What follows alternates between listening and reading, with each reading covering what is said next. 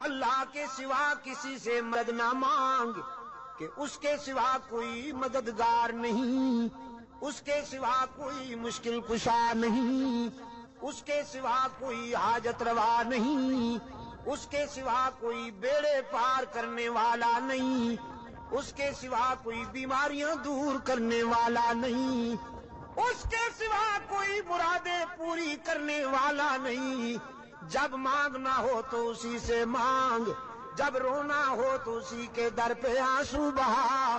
جب دامن پھیلانا ہو تو اسی سے اسی کے در پہ دامن پھیلا۔ وعدہ پورا کرنا اجا کا نابودو و اجا کا ہم تیری ہی عبادت کرتے ہیں اور جزاک اللہ، ہم تجھ سے ہی مدد مانگتے ہیں اور مانگتے رہیں گے۔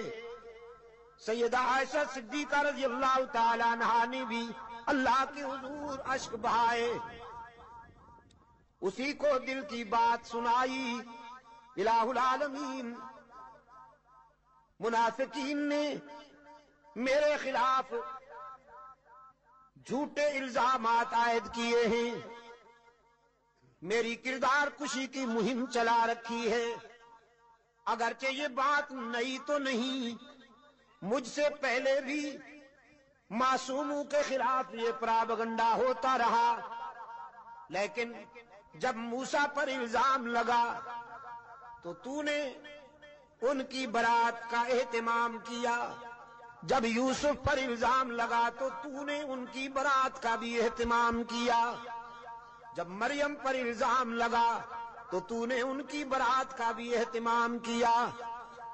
میرے معبود، آج تیرے محبوب کی ایسا عشق بار آئی ہے۔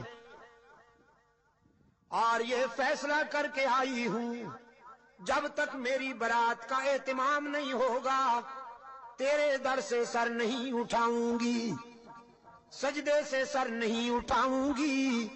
کسی اور کے در پہ نہیں جاؤں گی۔